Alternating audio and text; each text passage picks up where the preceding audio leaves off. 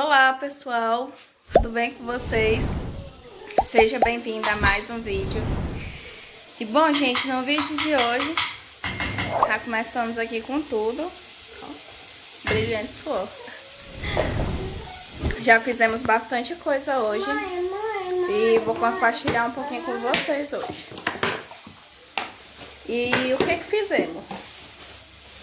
Kelvin hoje tinha uma consulta marcada que há muito tempo era pro Kelvin marcar essa consulta e, tipo, nunca dava certo, sabe?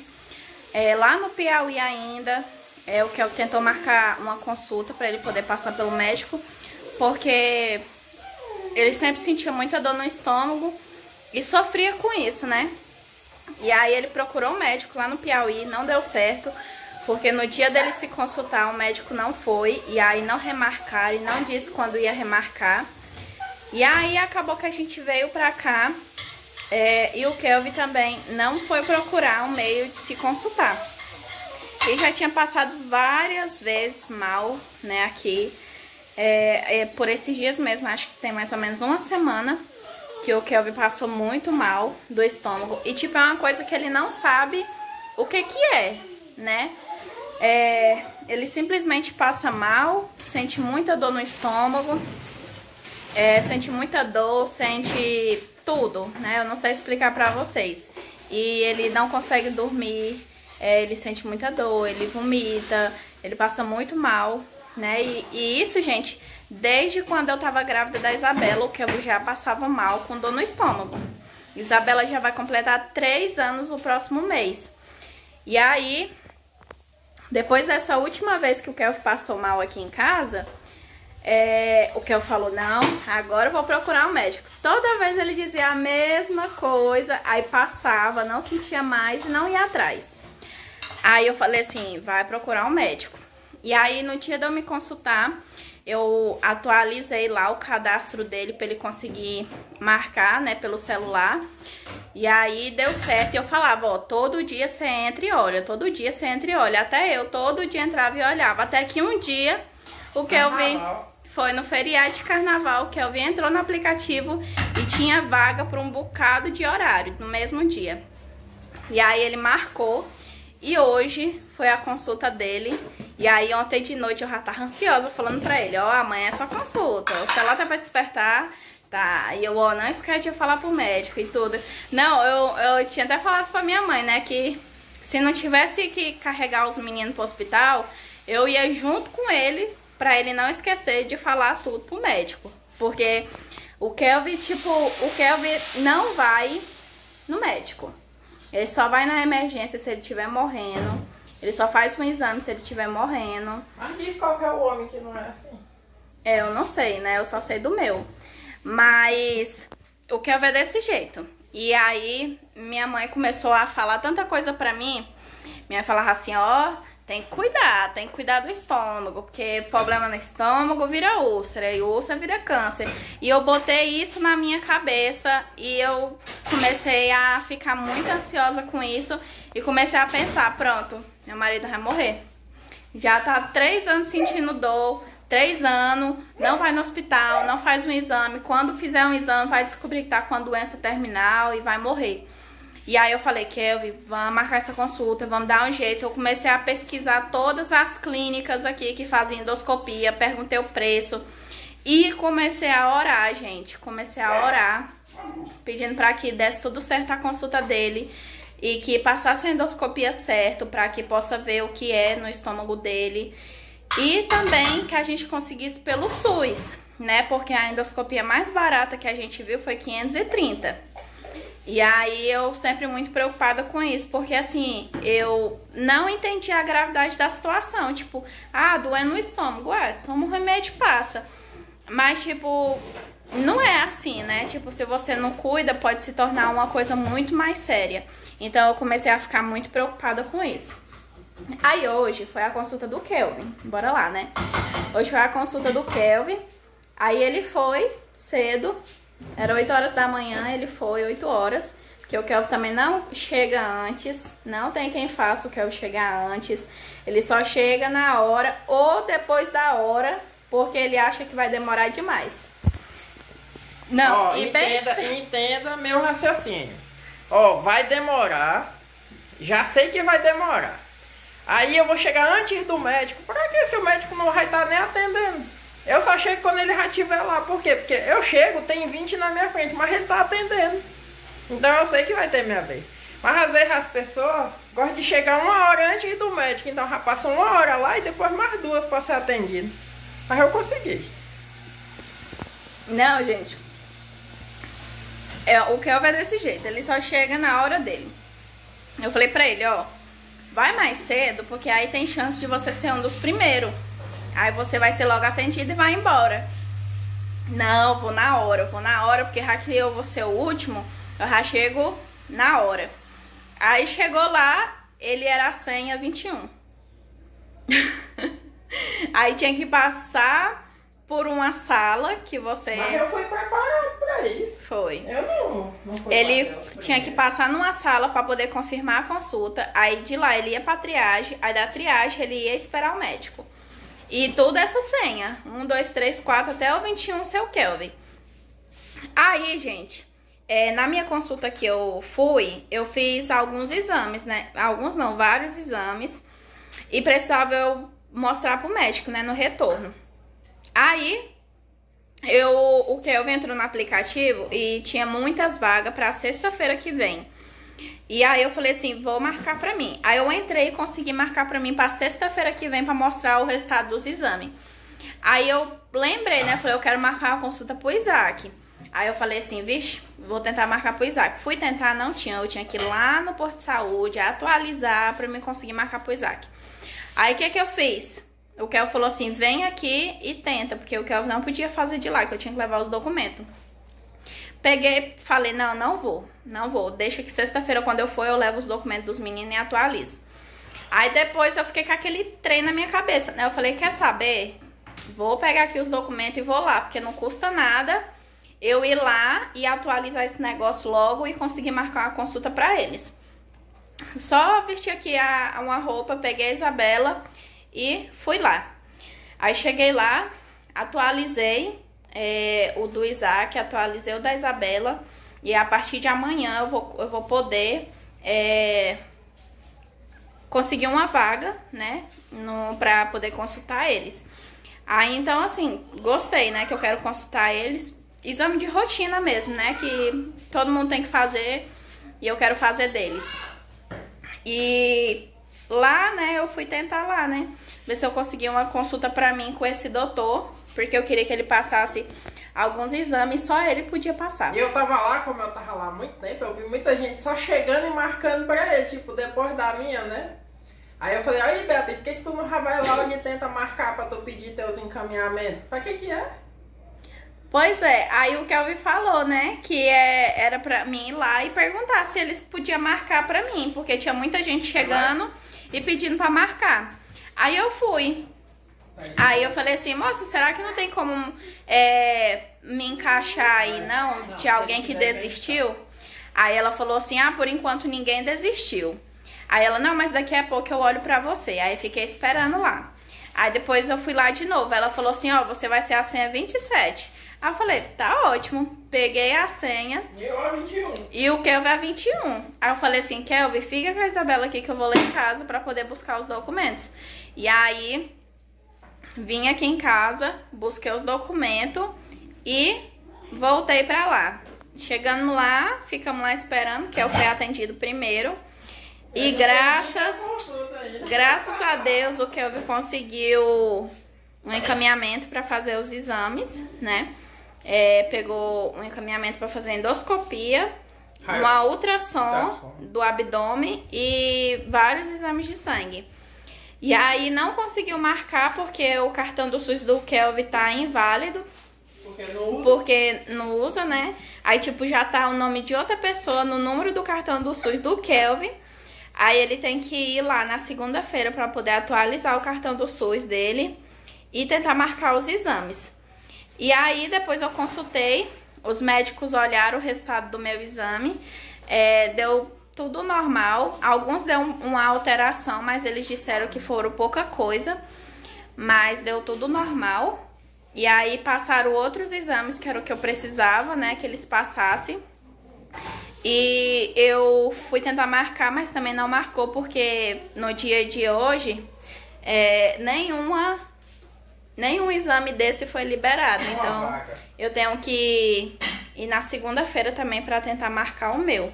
Aí, eu e o Kelvin estamos juntas nessa agora, nessa nova jornada, né?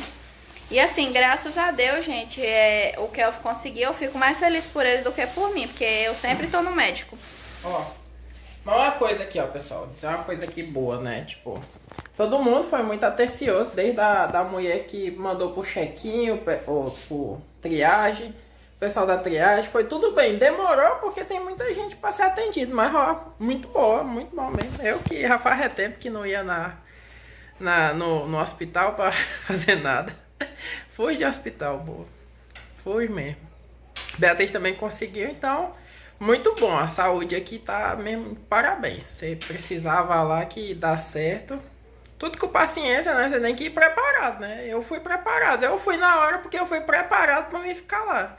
Eu não falo assim, ah, eu vou uma hora antes para me sair mais cedo. Não, cheguei na hora, fiquei lá, esperei, deu tudo certo.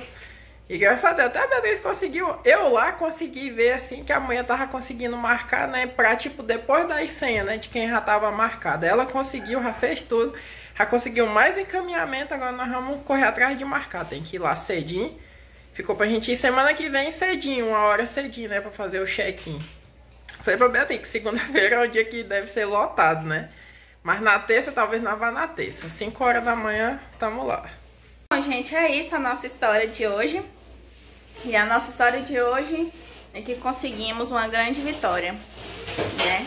E vou atualizando vocês de como que vai ser aí essa questão do que eu fazer os exames, o que que vai dar os exames dele, né? Que passou a endoscopia e a ultrassom para poder ver o, o estômago. E então, assim, vou atualizando vocês sobre o que vai acontecer nessa jornada do Kelvin. E eu tô fazendo mesmo só exame de rotina, gente. Tô fazendo exame de rotina, exame que todo ano a mulher tem que fazer. Tô aproveitando, né? Que moramos quase dentro do, do posto de saúde. E é isso, gente. Vamos começar aqui nossa, nossa lida de hoje. O almoço. Com o almoço. A amor comprou linguiçinha, ó. Linguiçinha. Dona Maria que gosta. Maria estiver vendo, essa aqui é pra senhora. Vou comer em homenagem. E é isso, gente. Passamos no supermercado pra comprar aqui uma carne. Tem carne moída, tem bife, tem linguiça Não. e tem melancia. Vira aí a cara. E pessoal, hoje foi um dia muito de vitória, né? Qual uma vitória do seu dia? Fala aí pra nós nos comentários. O que, que teve de vitória no seu dia? Eu sei que muita gente assim acha que talvez pode ser pouco dar tudo certo no hospital, mas para nós é uma grande vitória. Eu mesmo, há muito tempo esperando. E para você, o que, que foi hoje?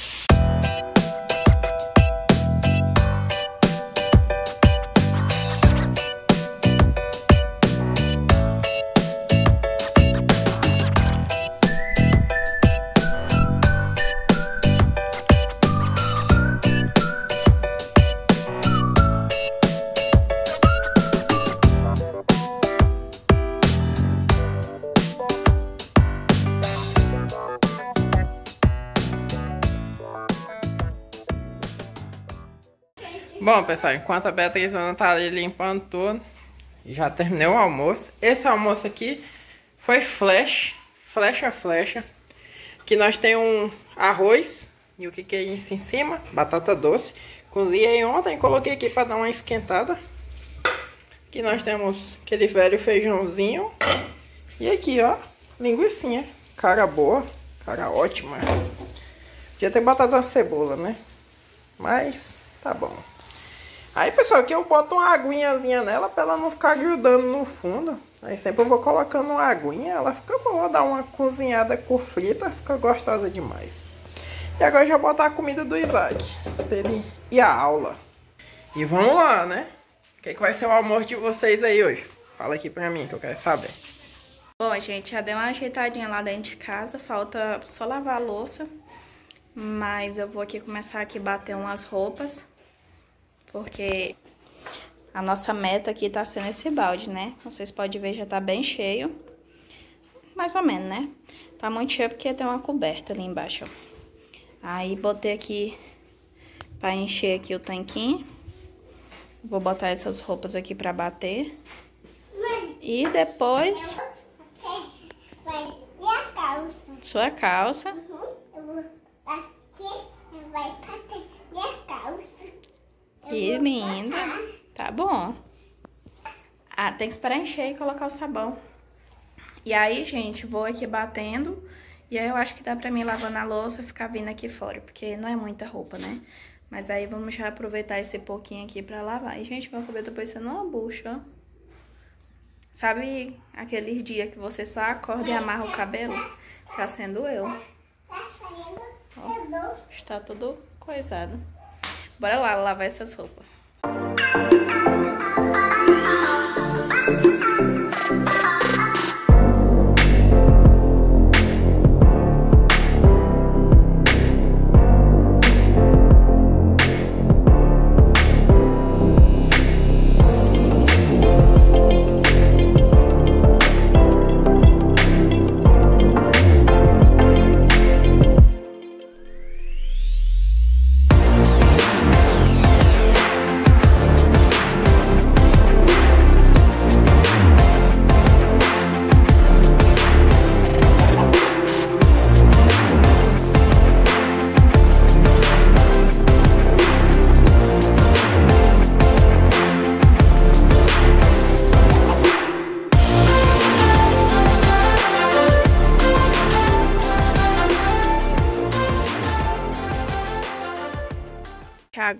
Aproveitar aqui que tá lá batendo as roupas.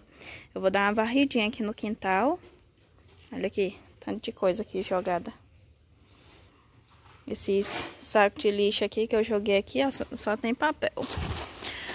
Jogar fora. Aqui também só tem papel. Ali é um pano de prato que eu tive que coar um óleo. O cachorro pegou. Hum. Oi. Isabela tava ali catando as latinhas, né, Isabela? Pegou tudo isso? Aqui, ó. Aqui tem ó. Cadê? Aí. Amassada. Aham. Isabela tá ajudando mamãe aqui.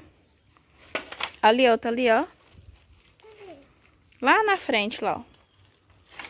Ali, ó. Pra lá, ó. Pra lá. Vai reto. Tá vendo? Isabela tá aqui catando as latinhas, né? Que a gente vai, vai achando. Aí. A gente vai achando as latinhas. E traz pra casa. Laranja! Bota aí na sacola. O tempinho ali tá parecendo que vai chover, ó. Ó, jeito do tempo. Cadê? Cadê? Cadê? Eu tô na... Não, eu acho que acabou agora. Agora é só amarrar o saco. Agora nós vamos limpar aqui. Mãe, massa essa? Amassa essa daí. Ó. Eita, menina forte.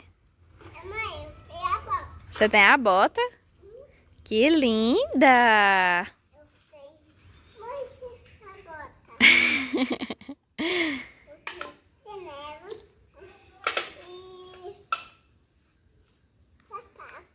É,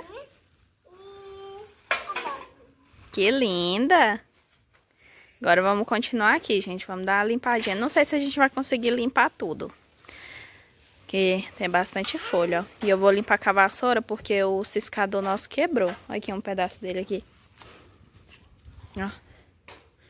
Quebrou o ciscador. Aí vou passar a vassoura mesmo. Mãe, eu tô usando esse can. Olha. Ah.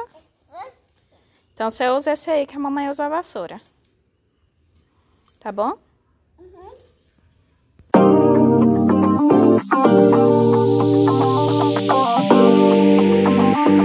gente,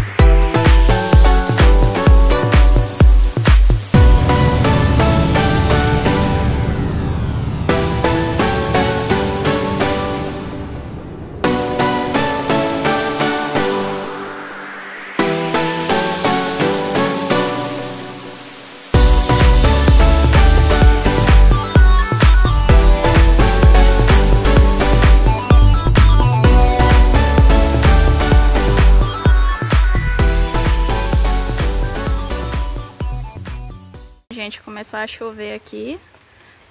Começou a chover quando eu tava limpando aqui o quintal, ó. Tá até molhando no chão.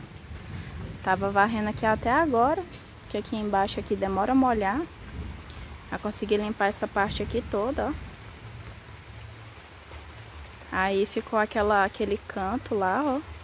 Que tem bastante mato também. Quero ver se eu tiro aqueles matos.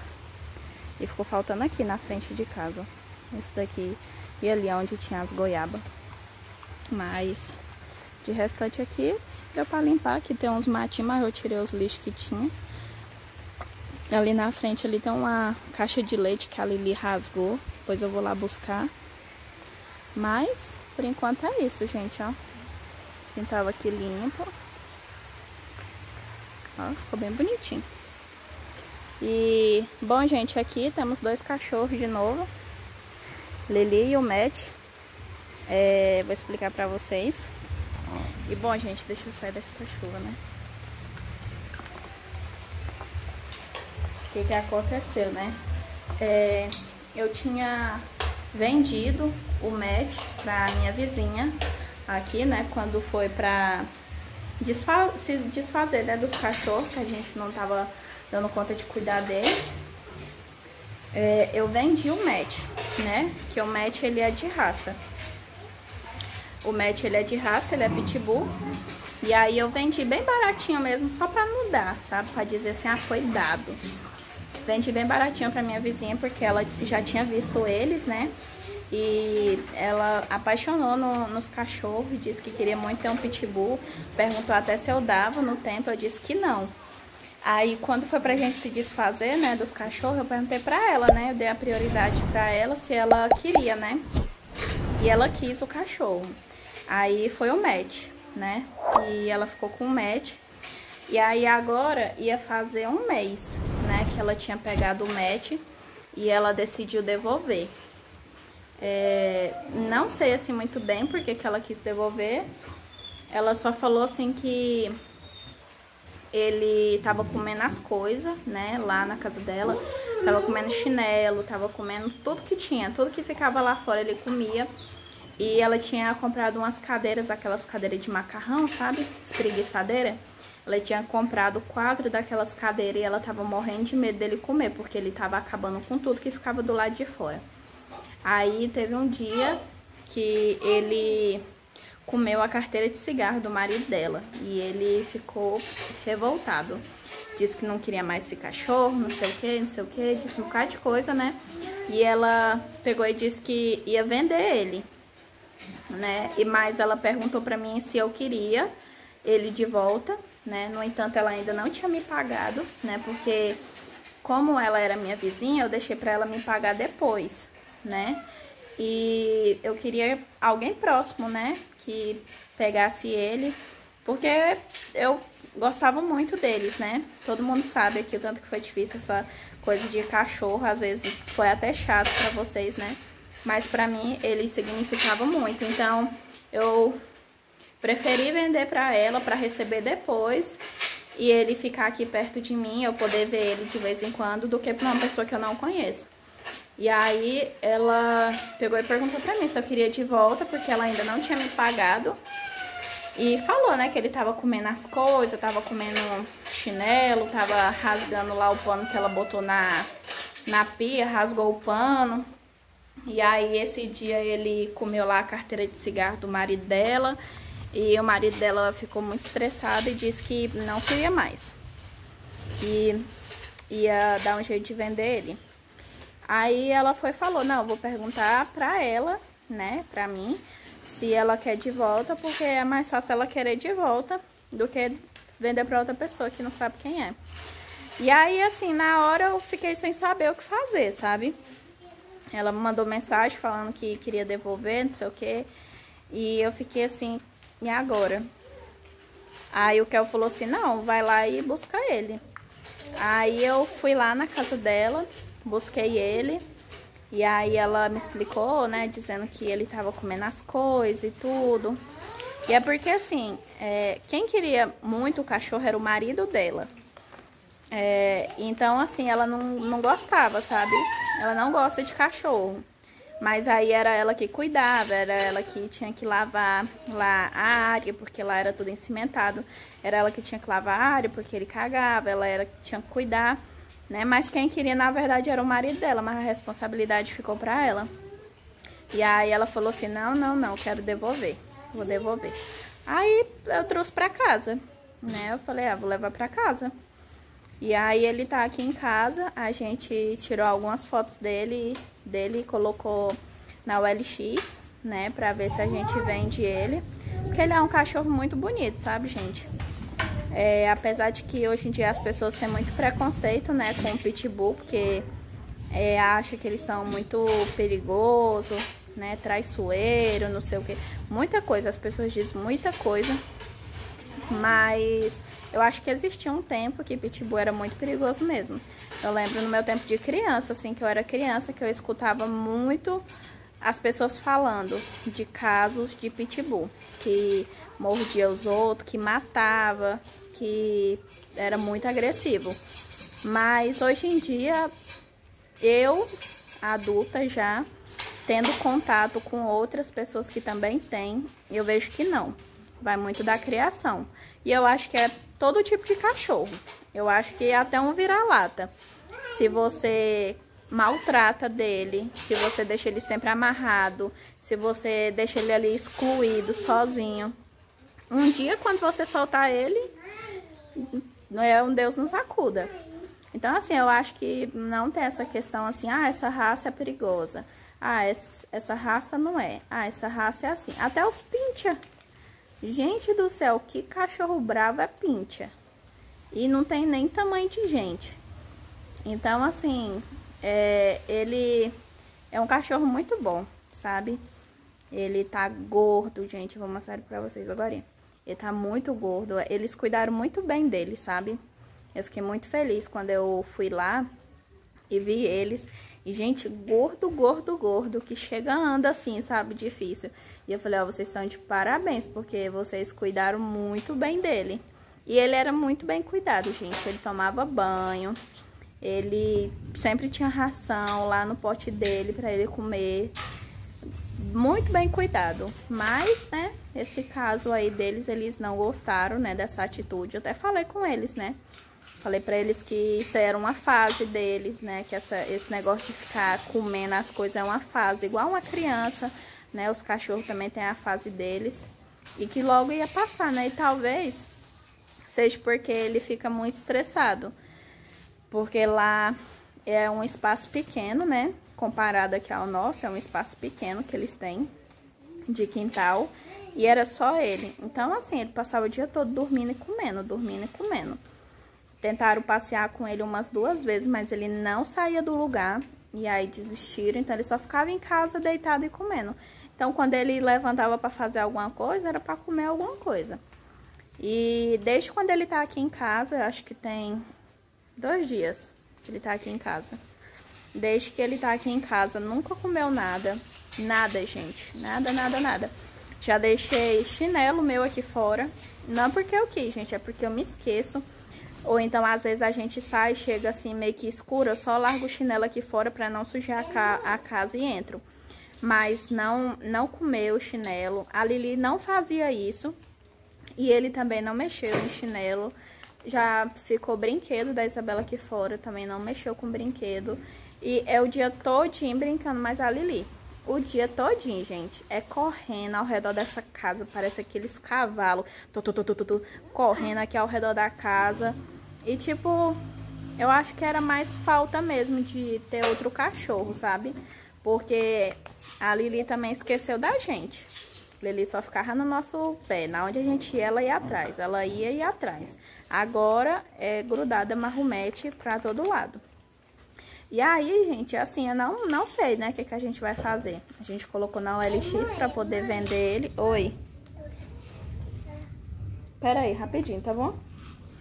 A gente colocou na OLX pra ver se vende. E até agora não apareceu nenhuma né, proposta. E também depende muito, né? Tem gente que já não acha seguro pegar cachorro desse, desse tamanho, né? Ele já tá com cinco meses, já vai completar seis meses agora.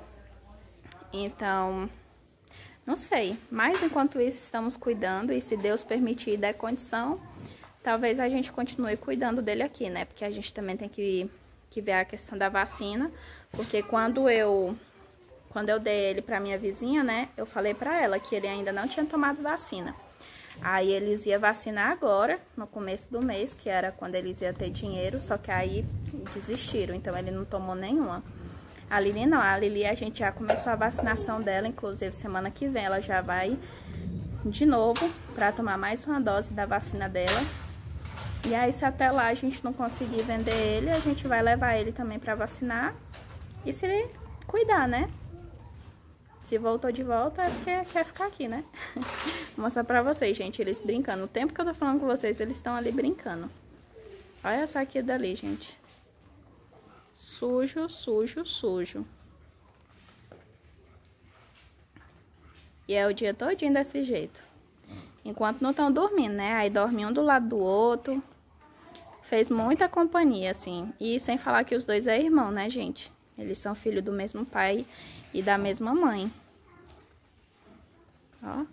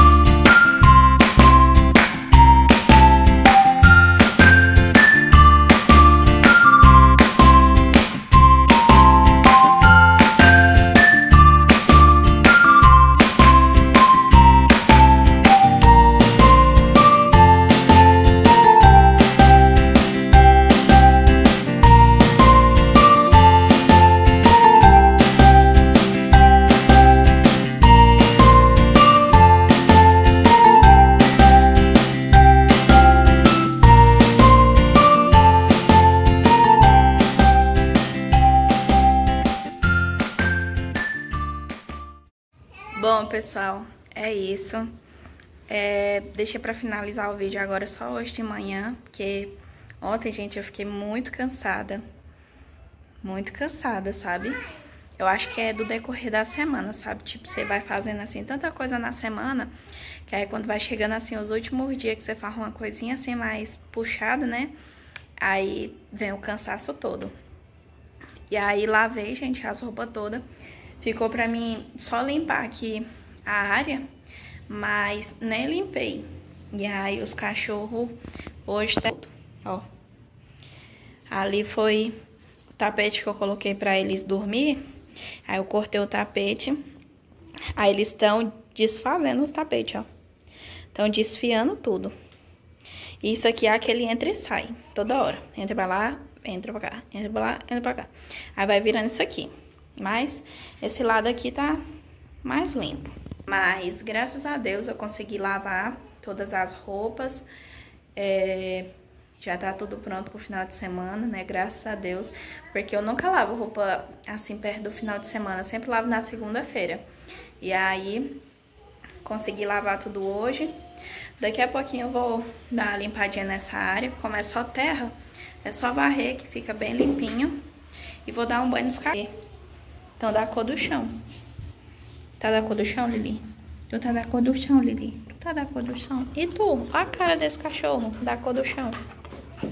É sim, tá da cor do chão. Da cor do chão. E bom, gente, é isso. Espero que vocês tenham gostado desse vídeo. Um videozinho assim, bem rapidinho, mostrando pra vocês aqui algumas coisinhas que eu vou fazendo aqui em casa pra manter as coisas arrumadas. E é isso, gente.